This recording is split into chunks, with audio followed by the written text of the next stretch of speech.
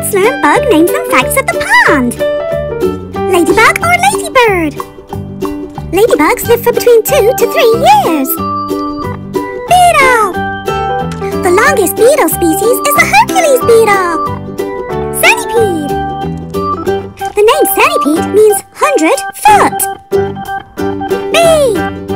An average beehive can hold around 50,000 bees. Normally takes between 5 and 21 days for a caterpillar to make a cocoon. Tarantula! There are around 900 species of tarantula. Wasp! Wasps live on every continent except Antarctica. Millipede! Millipedes have a hard outer shell called an exoskeleton. Slug! The tramp slug can move at 17.6 meters per hour. Legs and taste with their feet. Spider!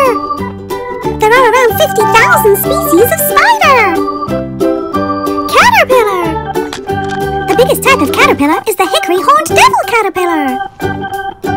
Butterfly! Butterflies don't have noses. Spider! Baby spiders are called spiderlings.